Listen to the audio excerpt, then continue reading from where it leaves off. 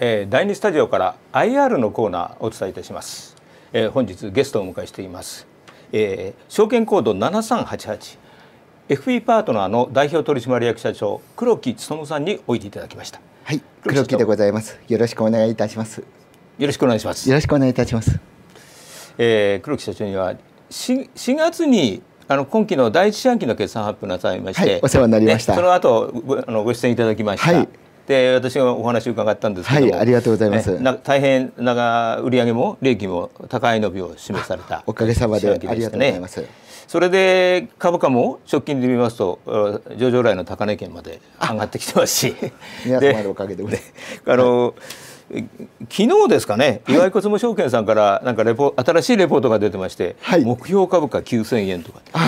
まだ7000円台ですよねそうですね。はいえー、そんなようなレポートが出たようなんですけども、はい、まあ、マーケットでも非常に関心が高まってきているということなんですが今日はですね、はい、この間の決算発表の中で私が非常に興味を持ちました件ですね、はい、えー、契約成就ビジネスが立ち上がって急速に立ち上がってきているという点なんですけれども、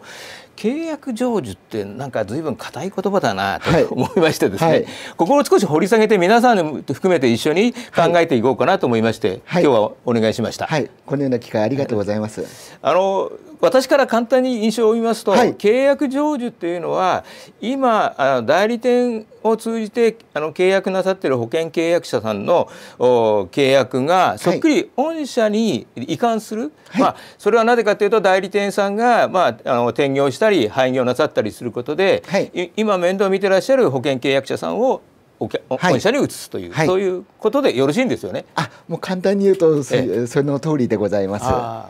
で今回の決算では、はい、1件1万8000人の契約者 1万8000件の契約を、は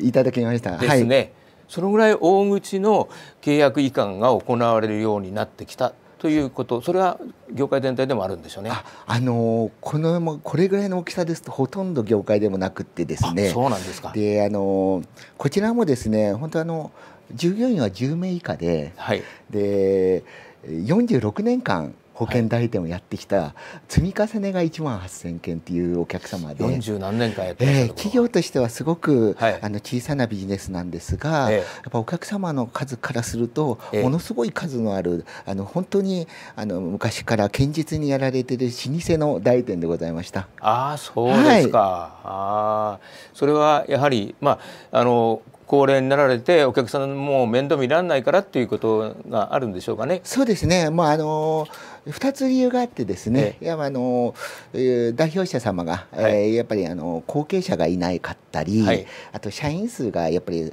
えー、ちょっと地域なもので増えなかったりして、はい、お客様のフォローができないといったところと、あとはやはり体制整備といってですね、え、あの保険業界で、えー、かなり厳しく、えー、問われているところのですね、体制整備というのは非常にコストがかかるのでなかなかご準備ができないといったところで、あのお任せいただいたような形でございます。あまあ一種 IT 化とか DX 化とかってそういう流れにつながるようなこともあるんでしょうね。やはりそれがないと、やっぱ体制整備はほとんど不可能で、やっぱ、えー、IT 化とかやっぱ自社システムとかが必要になってくると思います。はい。えー、それでですねあのし、えー、前回の資料の中にありました、はい、ちょっと今これですね、はい、契約成就ビジネスの拡大というのを御社、はい、あの今期についてなんですけどね、こんなように、えー、まあ予想なさっている、見込んでいらっしゃる、はい、えー、左側の方から21年11月期、はい、22年11月期、はい、これは成就契約移管件数。まあ大体、えー、前期、えー、で1万9908、2万件弱。はい。それがこの第一四半期で先ほどの1万8000件が新たに加わったことで一気に2万2900、はい、3か月間で2万2000まで、はい、で今期はさらに、えー、5万件まで見込んでいます。はい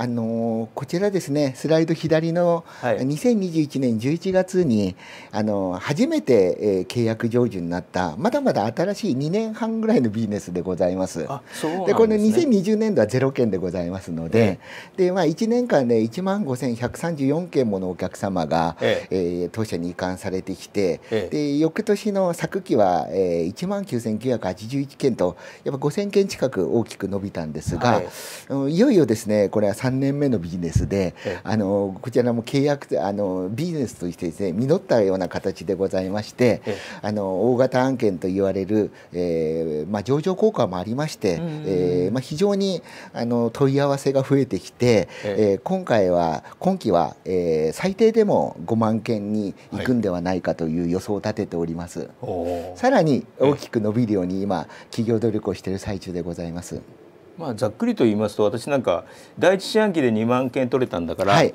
4倍して8万件と 4年間で。そうですね。いう余裕も可能かなと。でもまあ抑えて5万件、えー、いやまあ理想理想では8万件なんですがあの、まあ、なんとか5万件以上を目指してですね、はい、えー、やっていきたいと思っている次第でございます。これはですね、はい、そのまあ、代理店さんの事情いろいろあるんでしょうから、はい、そこら辺の情報を取ったり、はい、あるいは、まああのまあ、トップこうだ判断でもって決めなきゃいけないことでしょうから、これと取りに行くのは大変ですね。あそうですね。やっぱ、あのーこちらに来てもらうっていうのがなかなかできないので。そういうことですよね。そうです。あの、ええ、あのほとんどの、えー、大型案件は、え、私の方があの最初からお伺いしてですね、実はあのこの1万8000件も、あの三重県まで行ってですねあの私の方で、まあ、最初のお見合いみたいな形を取らさせていただいて、まあ、お互いの、えー、思いを伝えてですね、これもあの本当、えー、それがなければなかなか実らなかったと思っております。はい、黒木社長自ら？あもう自らというか、もちろんでございます。はい。行かれてということですね。すはい。その意味ではここに今の資料に出てましたあのその第二四半期以降1万件が3つ取れるみたいな、はい、その辺のニュアンスはもうすでにこうなんていう感触をはもう掴まれてる？そうですね。この大型案件に関しては、ええ、やっぱあのまあえー、やっぱ最初にもうあの訪問を終えてる会社さんも数多くございまして、ええ、私の方で、え、まあ取れる取れないの感触っていうよりは、まあ、あのお互いでそこが意見が合致したなっていうような、まあね、う良い流れになってるなっていうのはなんとなく、えー第一クォーターでも感触を得ております。そうなんですか、はい、えー、それでこのですねあの、まあ、例えば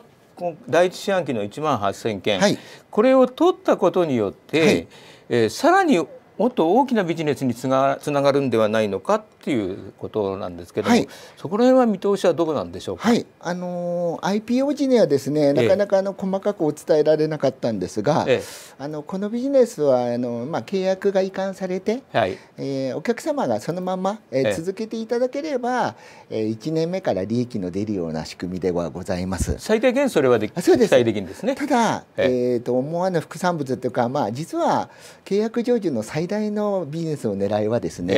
え、やっぱあの手つかずの本当にあの何年も、えー、お客様が、はい、えー、やってる契約がやはりあの保険会社の努力でですね保険商品がどんどんどんどん進化してましてでより良いものをやっぱご提供するといった形でですでにもうお客様から数多くの新しい契約もいただいておりましてでお客様には非常に喜んでいただいているのであのこの1万8000件もあのいよいよ今ご挨拶に回っている最中でございますのでそういうことちょっと下期には、えー、と契約もかなり上がってくるんではないかなと思っている次第でございます。まず最低限1万8000件の方が移管したことによって、はい、その手数料収入は期待できるあそうです。さらにもう少しいろいろんなケアをなさることで新しい契約にもつながってくる、はい、そうですね。あの基本的にはあの入院保険とか、あのがん保険の契約が多いものであの我々が得意としているファイナンシャルプランニングをやることによって、はい、あの老後の資産形成なんかの契約が数多く上がっておりますので。ええまあ、ただあの前期前々期、えーまあ、両方合わせて3万5千件でございますので、うんうん、あの今期、えー、5万件ができたら、えー、かなり新しい契約に生まれ変わるんではないかなといったところが期待できます。さらなる付加価値がついてそうですね。だからこれも、ね、あの詳細な数字をねできるだけ、えー、株主の皆様投資家の皆様にもアピールをしていきたいところでございますので、今期、えー、なんとかそこら辺の数字も出せるようにですねあのやっていきたいと思ってそうで。すはい。その次のケアのためには今度は御社の営業マンの方が動かないといけないですね。そうですね。あのー、まあ、あの昨期いよいよ私ども47都道府県に全国津々浦々に2,000名のあの営業がおりますので、あの移管された、えー、契約はですね、全県担当者をつけて。フォローをしていくといった形でございますので、あの一件も残らずですね、え我々の優秀な営業マン、営業ウマンが、うえくまなく、えー、今ご挨拶、えー、回らさせていただいて回り始めている、というところですね。はいあじゃあ次の段階でもっと大きな効果につながってくるということそうですね。あの私も今創業14期目なんですがもう非常に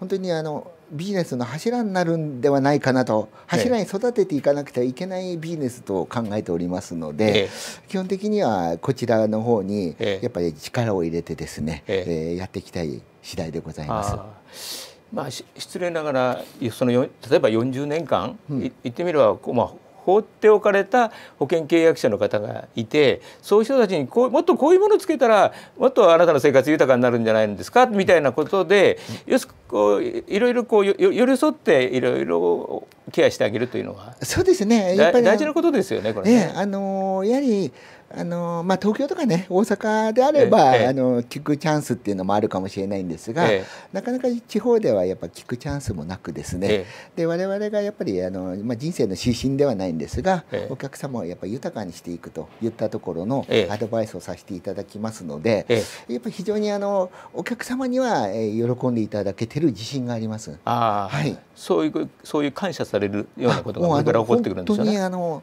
担当者からお客様からの感謝の声っていうのをたくさんいただいておりまして、ええ、本当はありがたい限りでございます。そのためには営業マンの受け入れ体制の問題なんです、はい、かと思うんですよね。はい、営業マンのこうまあ数質、はい、それをいかに高めていく。はい。あのー、あの助長効果もありましてですね、ええ、おかげさまであの IR はさせていただいたんですが、えー、4月に、えーと、本当過去最高の、ええ、単月で80人名もの営業職が入ってまいりまして、はい、で5月も、えー、50人近い、うん、えー、過去最高に近い数字が入ってきておりますのでやっぱ拡充が見込めるかなと思っておる次第でございます。で質に関しましても、ええ、あのー、今期、えーまあえー、業界のトッププレーヤーの証 MDRT、ええ。ー、が44 4.1%の、はい、えー、率で該当しておりますので、はい、トッププレーヤーの育成も今成功を、えー、収めようとしております。はい、その今お話出ました MDRT という、その組織なんですけれども、御社すごいか、